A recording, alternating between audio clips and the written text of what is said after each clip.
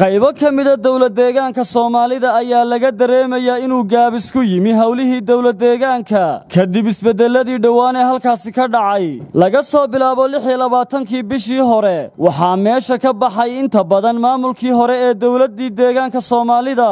Kadib markii ciidamada federaalka dalka itoobiya ay maamulka soo farageliyeen balse waxaa soo baxaya warar ah in shaqaalihii dowladda xitaa aanay helin mushaharkoodii iyadoo meelaha qaarkood xitaa bangiyadu aanay shaqayn dhanka kale waxaa soo baxaya shuruudo cusub oo lagu xidhayo cidda qabanaysa xilalka degmooyinka iyo gobollada dowladdeegaanka soomaalida.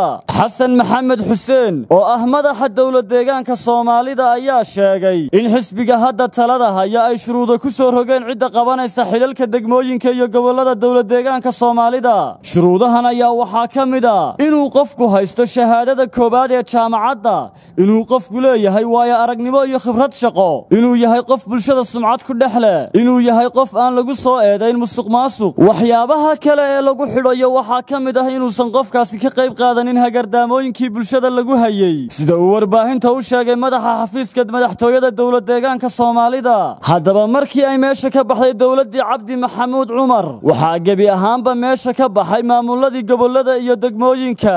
Tan iyo wixii ka dambeeyey xilligaasi maamulka cusub ma uusan soo dhisin ciddii hoggaamin lahayd degmooyinka iyo gobollada dowladdeegaanka soomaalida.